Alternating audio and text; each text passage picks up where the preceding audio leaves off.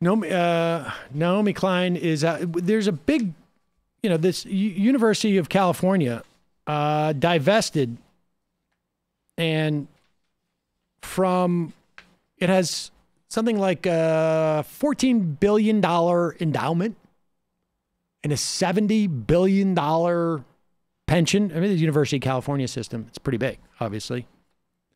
But you're talking about a total of like, I don't know, what, $83 uh, billion, somewhere around there?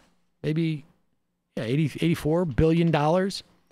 And they are divesting their holdings of anything involving fossil fuels, both because it's becoming a risky proposition to invest in fossil fuels because everyone knows the future is coming and fossil fuels cannot be part of it. But it's also because they want to make sure that the future comes and and and that uh, and divesting this is a big deal because the argument that you're putting at risk a pension by not uh, owning oil stocks or you're putting at risk an endowment by not owning coal stocks, fracking stocks, or whatever it is, is hard to make when you've got an $80 billion fund that is willing to, to divest in that way. That's a big deal. And uh, Bill McKibben at uh, 350.org, uh, I think he's still there, um, has been working on this for four or five years. There were people at the end of the Obama administration who were getting arrested uh, for this type of divestment. It is, in some ways, um, this uh, divestiture movements brought about the changes in South Africa, at least to the extent that America played a role in it. Um, it was largely because companies were finding that doing business in South Africa was beginning to hurt their stock values and so they basically uh, went to South Africa and said, like, this is not sustainable. And um, I guess I'm getting a little sentimental of a divestiture talking to Billy Bragg today. But also, um, uh, Naomi Klein uh, has a new book out.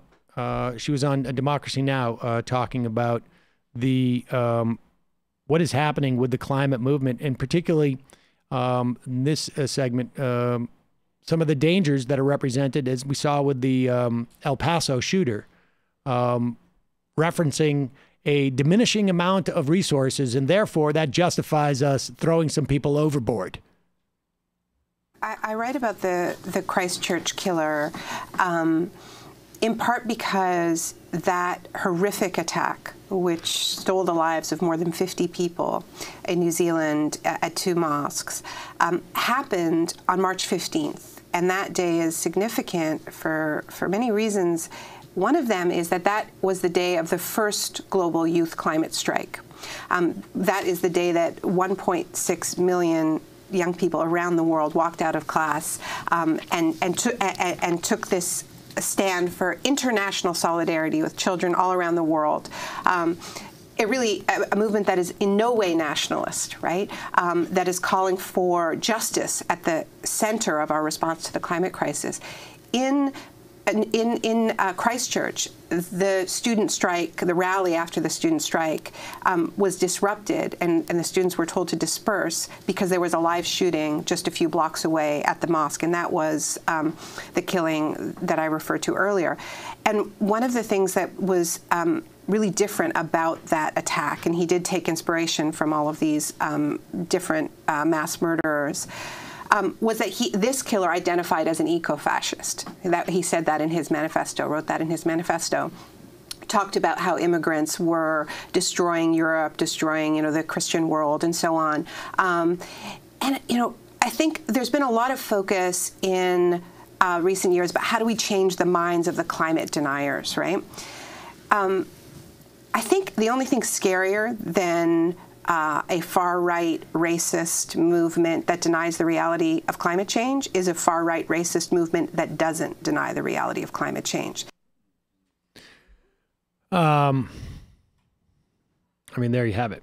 It's, I mean, it, it, if anything, the the idea that this is being cited across, you know, from uh, you know the lunatics uh, fascists on the right um, just give you a rise to the, the reality of this uh, uh, of its existence. And the idea that we still have the only major significant maybe the only but certainly the only significant political party in the world which is organized around the principle that and I'm not exactly sure where they are at this point that either climate change is a hoax or just simply not there's nothing we can do about it. Just get it. God will take care of it Well, or as some in in uh, in Silicon Valley, um, they're actually planning for those scenarios and buying eco bunkers and building scenarios for them. Well, at least they're aware. They're, but they at least, they're- acknowledge No, that it's I happening. that- that's true, but I think that's the correlation of the of the point I just want to make that that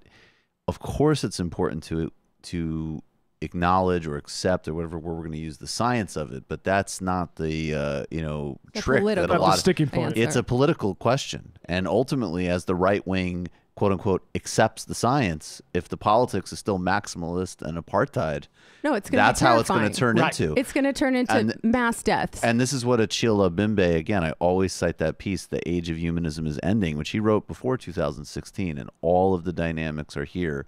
And that's exactly the point. And that's an, and it also correlates with the viciousness and racism towards refugees, because Yeah. a lot of refugees are eco refugees and also internally in countries as well. So you need to deal with the politics. The science is a second order question. Yeah, and this is not new, by the way. There is a long history of people on the far right taking an interest, however disingenuously, in the environment. I don't think it's Like disingenuous. some of The the, the Hitler- well, the well, then you look at where their money is invested, and it's in fossil fuel companies. So, uh, like, I, I listened to a really good episode of uh, Trillbilly Workers Party with uh, my friend Brendan O'Connor, where they talked a lot about all of the this this web of connections, this element of the right that takes an interest in the environment and it's it's always been that way some of the early eugenics eugenics people were into environmentalism but I think it's going to catch on more and more as, like you guys said, people, more people on the right accept the realities of climate change. And as we see waves of migration that we know are going to be caused by climate change, and the left needs to be ready with a real response to that. We need to be making the case now for the free movement of people, and we need to be making the case to the wider working class how this, in fact, benefits everyone and doesn't hurt us to let people in who want to come here. Yeah, it's sort of a scary thought. Um, oh, just a reminder somebody just told me I did not uh, say the name of the Billy Bragg book at the end of the interview, The Three Dimensions of Freedom. We'll put a. Uh, Put a link to obviously in the um, uh, the podcast description. I think Republicans started uh, unrolling their climate policy when Trump started saying "build the wall."